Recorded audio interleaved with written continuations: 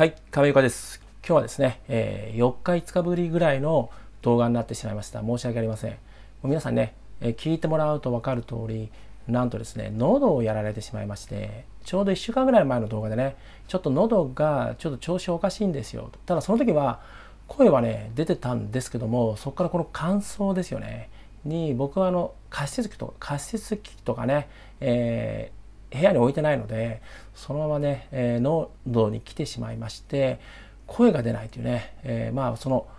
物理的なね、え、攻撃でも、まあ、バーサーカーとかパラライズみたいなね混乱系の攻撃であればね僕はメンタルもねフィジカルも強いので、え、跳ね返していけるんですけども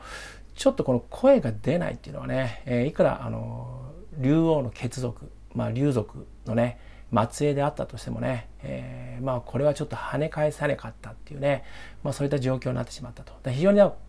聞こえづらいとは思うんですが、まあ、頑張ってね、話していきますのでよろしくお願いします。なので、普段ね、1.75倍ぐらいを推奨しているんですけども、まあ、ちょっとこの3日4日はね、1.25倍ぐらいで聞いてもらえるとちょうどいいんじゃないかなと思っております。まあ、僕はね、あの YouTuber、えー、美声選手権でね、えー、まあ、2年連続モンドコレクション賞をね、いただいてるっていう、まあ、優勝者なんですけども、まあ、そういった声優 YouTuber さんをね、抑えてこれまで、えー、美声 YouTuber としてね、えー、やってきましたが、ちょっと皆さんに美声をね、お届けできないのは、まあ、心苦しいかなと。まあ、この物理攻撃は、さすがに竜族でもね、の末裔でもね、ちょっと跳ね返せなかったっていうことで、まあでもね、4日、まあお休みいただいて、その間はね、えー、仕事はもちろんしてましたけどね、まあ仕事はでもやはり、私経営者やってますのでね、えー、やはり行って説明しないといけない時はありますので、まあ、そこで銀行相手とかね、えー、商談とかやってきましたけども、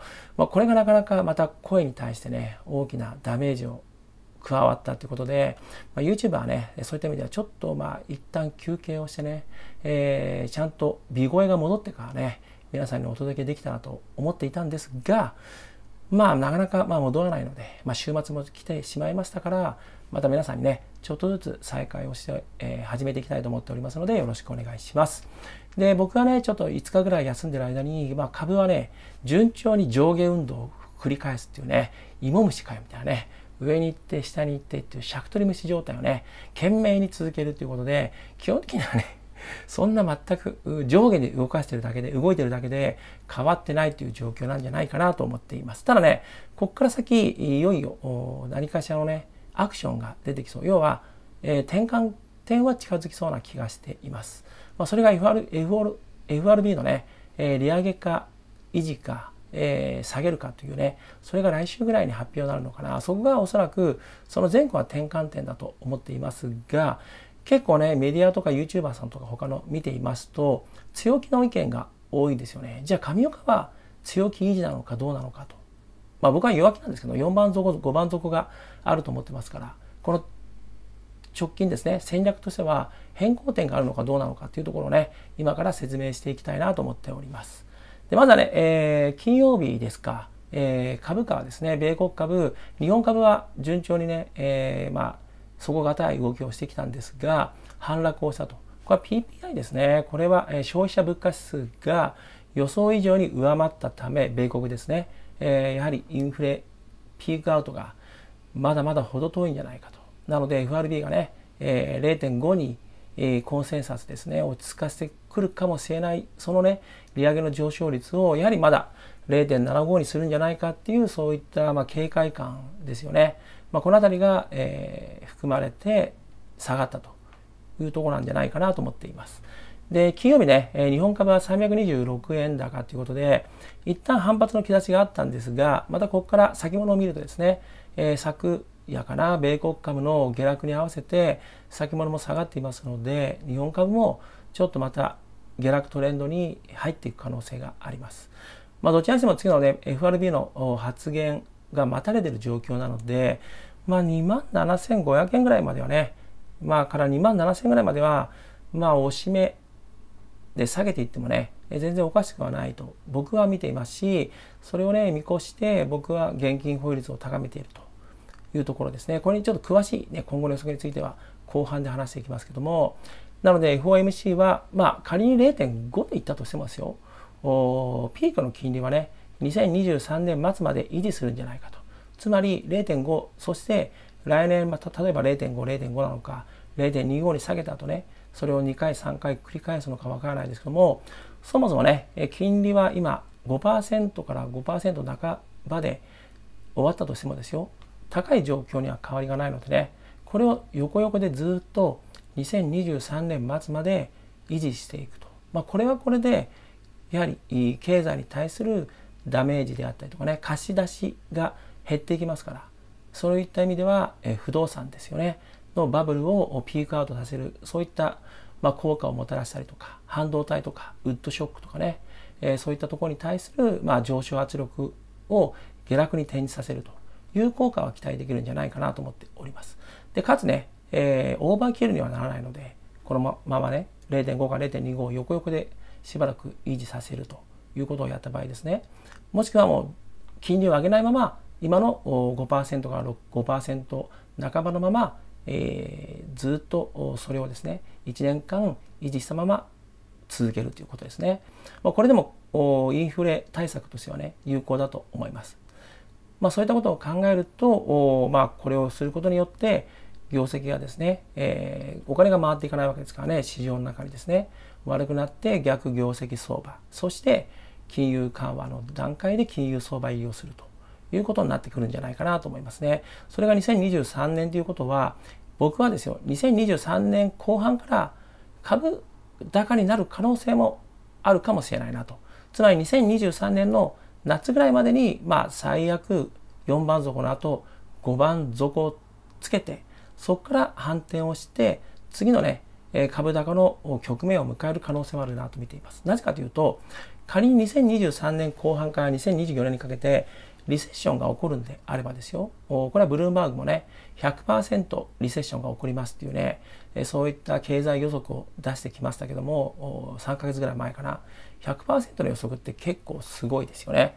ただこれをリセッションの大体半年前ぐらいには株価っていうのは反発をするんですよね。これはなぜかというと、当然リセッションが起こるっていうことは、金融緩和に FRB であったりとか、えー、米政府ですよね、えー、ばらまきに転じるということなのでそうなると株価は上がりますよね。それを見越してそのその後の経済復興ですね、えー、その半年ぐらい前に株価を織り込んで上がりやすいものなんですね。つまり米国株のリセッションの約半年から1年前に株価は底をついて上がると。同じような形でその前もリセッションの半年前ぐらいには上昇に転ずる。その前もリセッションの半年前には上昇に転じるという形で基本的にはリセッションを待たずに株価っていうのは反転攻勢に出ることが多いんですね。そう考えると4番底5番底が2023年夏ぐらいまでにあったとしてもですよ3月が4番底例えば7月8月が5番底と、まあ、これがまあ妥当な見方かなと思っております。それがと何回続くかと4回で終わるのか5回で終わるかってことですけどもその後リセッション入りをするんであればですよ、うん、ここはそれをまあ買い場と捉えるのが、まあ、一番リスクリターン、期待値に対してですね、期待値に対してリスクリターンをまあ考えた場合は、まあ、有効なんじゃないかなと僕的には思っています。もちろん、外れる場合もありますし、まあ、6番底、7番底、場合によっては、またリーマンショック並みに1万円まで下がってしまうっていう可能性もありますよね。ただ僕はそこまで今のところ見てはないですね。なぜかというと、リーマンショックの時と、このコロナショックの後のね、えー、金融相場、まあ、を終えてまた下がってきてますけどもちょっと状況が若干違うんですよね。これについては、えー、最新のデータとか、えー、僕のね、えー、考えを数値化したものをまとめたものを明日お届けしたいと思っていますので、そちらの方もね、また見てもらえたらなと思っております。で、来年のね、まあ、えー、株式相場は2%、えー、2桁、2桁台に,、えー、に上昇と。これ前半は起こらないと思いますけどね、後半に起こるんだったら、このブルームバーグのね、機関投資家調査はもしかしたら的を得てるかもしれないですけども、まあ、どちらにしてもね、まあ、こういったポジショントークはどんどんどんどん出てきますから自分なりの軸をね、えー、しっかりと考えて戦略ともとして持っておくことが大事ですよね。これを戦略シナリオと言います。これはビジネスでもね、投資でも必ず基本となる考え方ですけども、こういった情報はね、えー、まあそれはシティバンクとか、バンクオブアメリカとかね、ブルブバーグもそうですし、あとはね、JP モルガン、モルガン・スターレ、様々なね、えー、金融機関や機関投資家のねレポートとして出てきますけどもからね。ただそういった中をまあ耳に入れながらも一部は信用して一部は信用しないっていうね批判的なクリティカルなね目線を持つと。そして自分の戦略シナリオに全てを吸収してドラゴンボールのセルのようにね進化をしていくと。自分の戦略のシナリオをねっていうのが一番いいんじゃないかなと思っています。僕は軸はえ自分なりの軸はありますので予想のね前半じゃなくて後半起こるというふうにこういった場合は吸収をしながら、えー、自分なりに翻訳をしますよね。もちろんこういった、えー、リスクもありますからあとはリスクとリターンを数値化して、えー、考えていくということになります。でですね、えー、僕はですねこの10月1日に、えー、ちょうどこの時はね、え、日本株まだまだイケイケどんどんでちょうど右肩上がりで上昇をずっと遂げていたんですね。夏枯れが起こるかなと思ったんですけども夏枯れが発生せずね、えー、そのまま、えー、夏後半からねえ9月に向けて上昇に転じていました。ただ僕は株価下がりますよと。この時はちょうど3番底を予測をしていたのかな、うん、と思います。でおそらく欧州危機から始まりますということを話していました。で買い場はねそれ以降になりますと。3番底で時に買った方がいいんじゃないかってことを27日の段階ではね皆さんにシェアをしていましたそして9月の30日にねいよいよ上昇にをしていた日本株が下落に転じてえ3番底をつけたというタイミングで僕はチャンス到来だということのね、えー、解説動画をこの時に上げています。蓬莱激戦用意ということでね、もう全力買いじゃないですけども、長期に行くぜということでね、話したんですね。これがちょうどここの上昇を終えて、ちょうど2万6000円にタッチした段階ですね。この時に僕はこの動画を上げたということになります。で、そこからね、えー、上昇に転じをしたんですけども、僕はね、えー、一旦利確を早めにしますよということで、ちょうどね、その理由は、えー、この海外投資家の動向とやはり4番続行があるという僕の憶測そしてこの25日75日200日移動平均線がねちょうど節目として大きな上値抵抗線になったのでここで上がる上げ止まるんじゃないかと。いうことでここで一旦利確をしますという動画をここで上げました。そしたらね、え順調に下がってきたんですよね。まさに予想ここまでは、えー、過去動画洗ってもらうと分かるんですけども上が当たっていたと。で次はね、米国の CPI 発表のタイミングで上がるんじゃないかと。いうことを予測したんですね。で、僕はこの CPI の発表、おそらく株価反転のきっかけになるので、ここで僕は買いますと。なぜなら、あまりにも総悲観だったんですよね。すべての投資家がこの CPI の発表に対して下落をするということを話していたので、僕はこれは反転の合法になりますよということで、もし当たったらね、株新ですね。まあ、株王ですけどね。株王と命名しますってことで自分で自分を命名するってすごいですよね。何様だよっていう。まあそのね、えー、まあ反動がこの声に来てるかもしれないですけどね。しっぺ返しっていうことでね。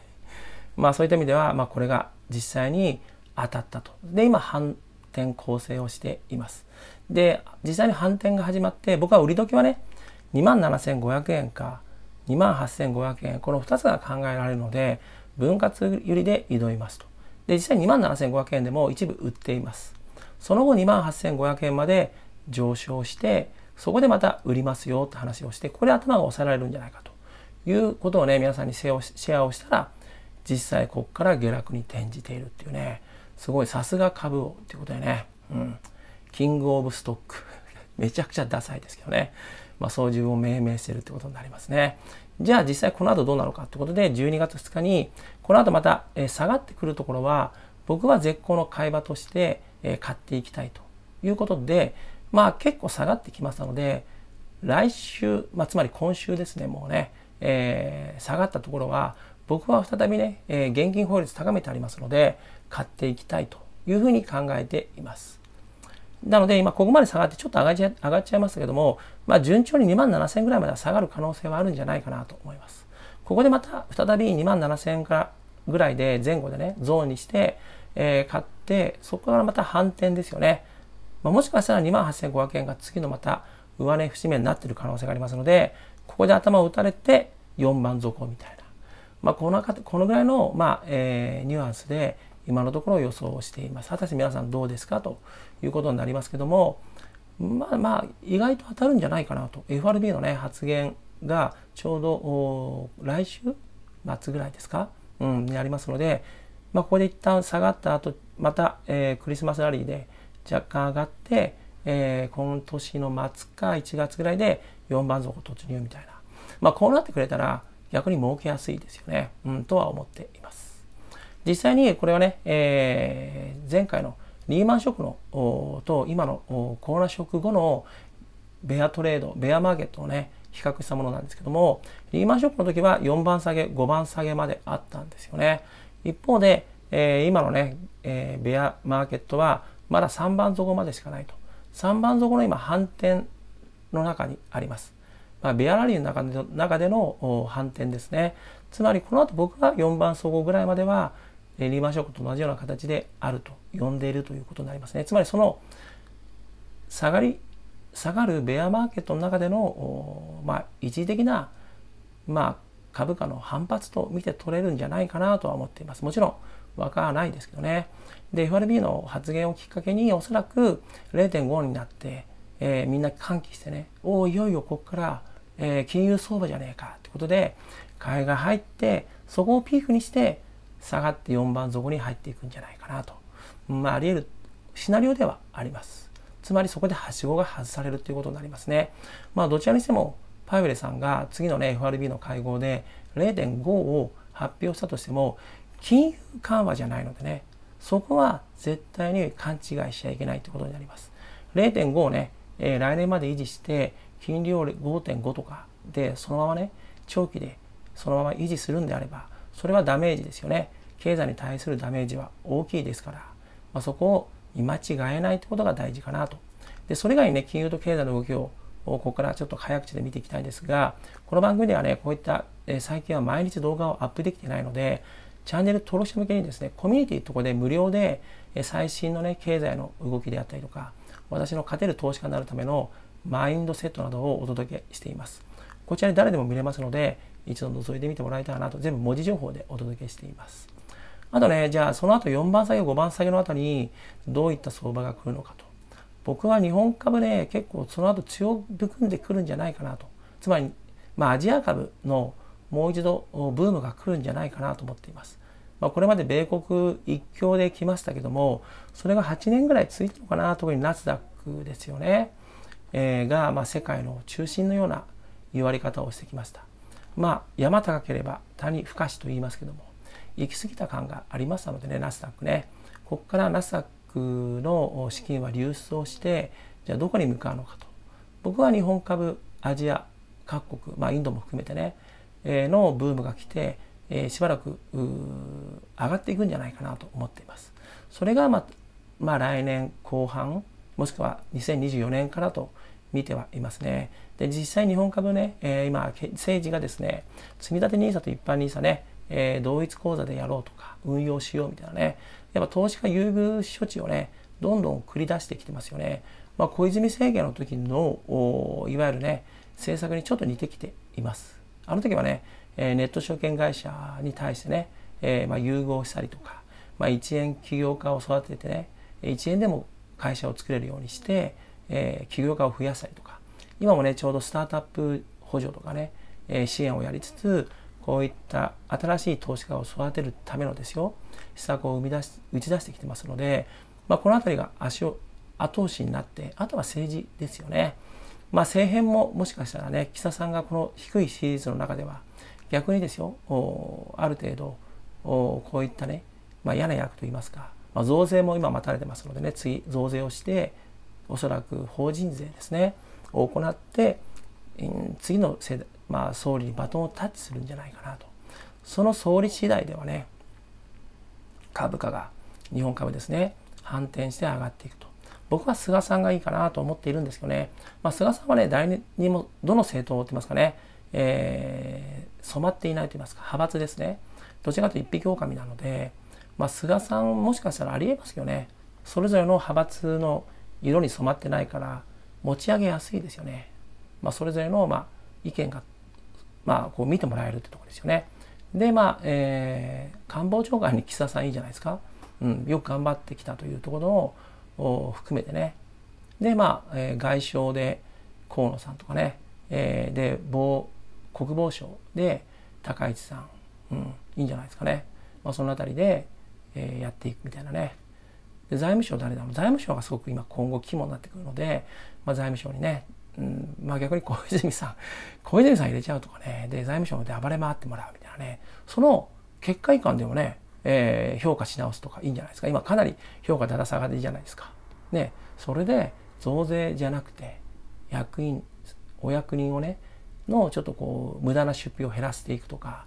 違う形でのね、えー、まあ取り組みを行って評価に値するようなことがあったらまあ若いですしね、まだ若い人のチャンスをわざわざね積むことはないと思うんですよね。うん、ということでねいろいろ最後雑談話しましたけど別に僕の考えじゃないのでねあくまでエンタメ的に今話しますので後半後半ね、まあ、そういうふうに感じで、えー、聞いてもらいたいなと思っております。僕の考えなんですけども本気で言ってないってことですよもちろんね。まあ結構そういうふうにするとこうコメントが荒れるのでね先に言っておきました。それでは今日は以上になります。この後は世界情勢編ということで米国株と世界のマーケットについてね話していきたいなと思っております。それでは高速で GO!